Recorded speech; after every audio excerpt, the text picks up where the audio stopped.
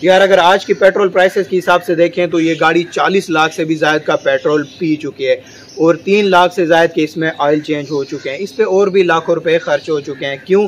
क्योंकि ये गाड़ी चाँद पे पहुँचने वाली है।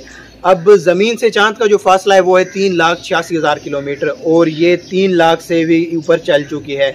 अब अभी मैंने इसे इसकी लिमिट्स तक टेस्ट करना है, आगे चार लाख, पाँच लाख छः लाख, यानी अब चाँद पर पहुँचने वाली है तो चाँद से फिर वापस भी हम लोगों ने आना है। तो मैं इस गाड़ी को टेस्ट करता रहूँगा, मैं इसे अपने पास ही रखूँगा, इसे मैं सेल नहीं करूँगा, और मैं इसे चलाऊँगा जब तक इसे मैं मैक्सिमम चला सकता हूँ।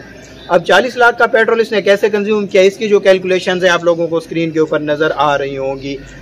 जब हम तीन लाख किलोमीटर को 20 के एवरेज से कैलकुलेट करते हैं तो ये पंद्रह हज़ार लीटर बनते हैं।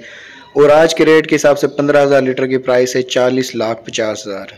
बाकी इसकी जो भी डिटेल्स हैं आने वाले दिनों में, इसे मैंने कितने का परचेज़ किया, मैंने इसके ऊपर अब तक कितनी कितने रुपए एक्सपेंस किए हैं कौन कौन सी चीज़ें ख़राब हुए हैं, कितने बार टायर चेंज हुए हैं ब्रेक लेदर चेंज हुए हैं क्लच के कौन कौन से मसाइल रहे हैं, इसके शॉक्स चेंज हुए हैं। तो जो भी सारी डिटेल्स होंगी, उनके ऊपर कितना एक्सपेंस आया और मैंने कमाया कितना, वो सारी जो डिटेल्स होंगी मेरे पास हैं पड़ी तो मैं इंशाल्लाह अपकमिंग वीडियो में आप लोगों के साथ ज़रूर शेयर कर दूँगा।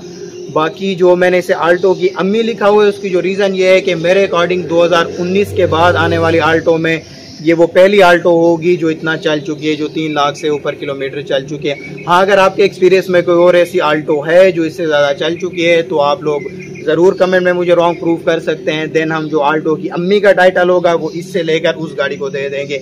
बट मेरे अकॉर्डिंग अभी तक ये गाड़ी सबसे ज़्यादा चली हुई है तो जो आल्टो की अम्मी का टाइटल है, वो इसी के पास है, क्योंकि यही सबसे एक्सपीरियंस है और इसी नई रोड के ऊपर सबसे ज़्यादा टाइम गुजारा हुआ है। दैट्स वाई ये गाड़ी आल्टो की अम्मी कहलाती है। और मेरे जो, यहाँ पे मेरा जो सर्कल है, मेरे जो ड्राइवर्स हैं, वो भी इसे आजकल आल्टो की अम्मी कहने लगे हैं। जो बाकी आल्टोज़ हैं, वो इसे झुक कर सलाम करती हैं। जी तो फ्रेंड्स यह थी मेरी आज की छोटी सी वीडियो अगर पसंद आए तो लाइक करें कमेंट करें और दोस्तों के साथ भी शेयर करें। हमारे चैनल को लाजमी सब्सक्राइब करें। अपना बहुत सारा ख्याल रखिएगा अल्लाह हाफिज़।